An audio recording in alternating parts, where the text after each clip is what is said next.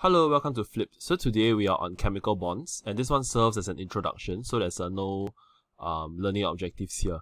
Okay, but I think it's important for you to know the basics of understanding the logic behind chemical bonding before we actually go into each individually. Okay, let's begin. Uh, so chemical bonds is really just a force that binds atoms together. For example, I have a yellow atom here, a green atom here. Okay, there exists this force, okay, uh, if the conditions are right, to bind them together. So what will happen is actually something like this. Okay, they will be bonded together now with probably a single bond here. Okay, so this one now it becomes a compound. Okay, as we learned in the previous video. Okay, so basically it's just a force. It's uh, invisible. You cannot see, but it exists. Okay, it, it just binds them together. And this is because in chemical reactions, all bonds will break and uh, new bonds will form. So what do I mean? From this example, I can also do this. For example, in the previous bond, okay, uh, the yellow uh, atoms are bonded to each other. So this is a uh, molecule, correct? And this one, okay, let's just put the same one. For the green one, okay, you can see that the orange bond binds the two yellow atoms together and binds the two uh, green atoms together. But when chemical reactions happen, this one breaks and this one breaks. Okay? So what happens is that new bonds will form now. Alright? So between the yellow and the green, there exists a new bond. Yellow and green exists a new bond. So what happens is this actually. So individually, the yellow will be paired up with the green atom now. Okay, so I think this is a very good illustration of what's happening. Old bonds break, this one, this one break, and new bonds form okay, the red one. And this will result in the, the products being uh, different from the constituent elements and having different properties. Okay, uh, they have different properties is due to different um, bonds. As in the different nature of bonds give them different properties.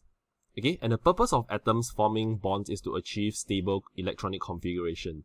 Okay, we will talk about this more uh, in the later part. Basically, this is a summary. In compounds, they can have two forms of bonds. One is an ionic bond, one is a covalent bond. In metals, there only exists metallic bond. We shall talk about, about this in subsequent videos. Okay, let's ex uh, examine the um, stable electronic configuration together. So this is what I've drawn, okay? Basically, elect stable electronic configuration is the same as noble gas configuration because noble gases are stable, okay? We have talked about this in the atomic structure chapter, but I want to revisit it um, because it's uh, it was a bit rushed. Okay, I, I think we can do um, a clearer explanation also.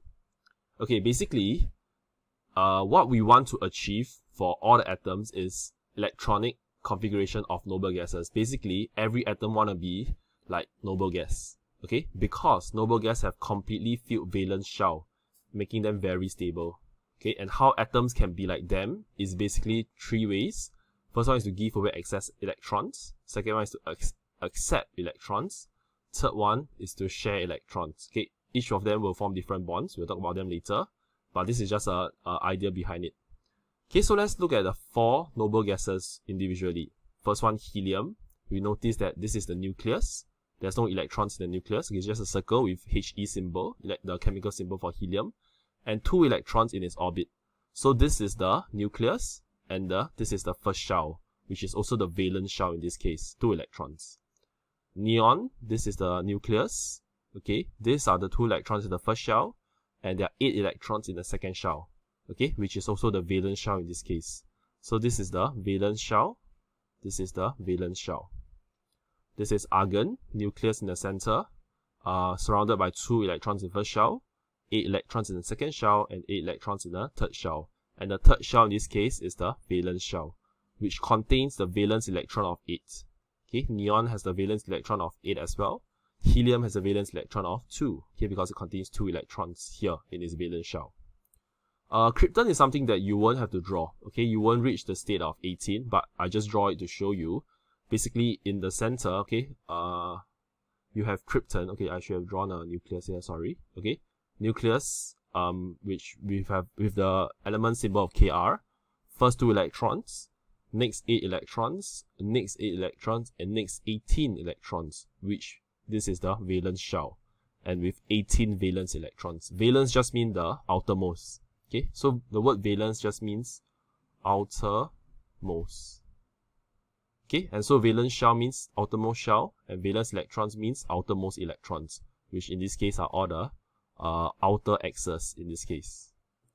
Okay, so with that out of the way, basically we want to know that we want to form all atoms in this format. We want all atoms to either accept, accept, give away or share electrons to form this magical number 2, 28, 288 or 28818 basically.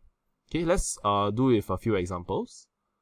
First one, okay, we notice that this is sodium.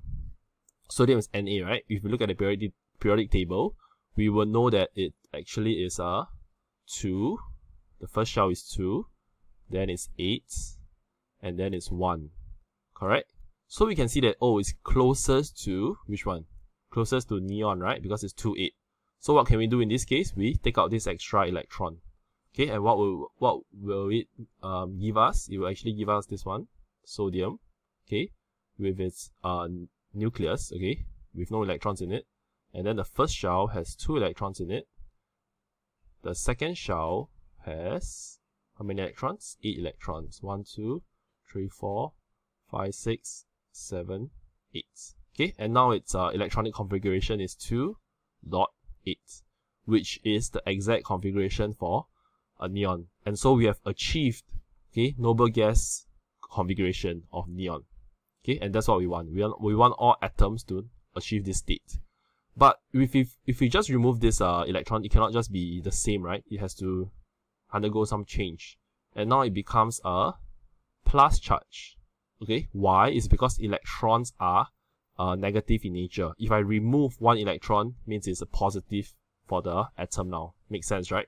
because electrons are negative in nature okay imagine there's a like a static around it or something okay negative in nature if I remove this guy now it becomes positive because I remove a negativity okay and now it becomes a plus charge here so now I achieve neon configuration which is what I want this is uh, giving away electrons let's talk about accepting electrons so in this case I have chlorine okay uh, if you look at the periodic table, it's uh, actually have a configuration of uh, 2.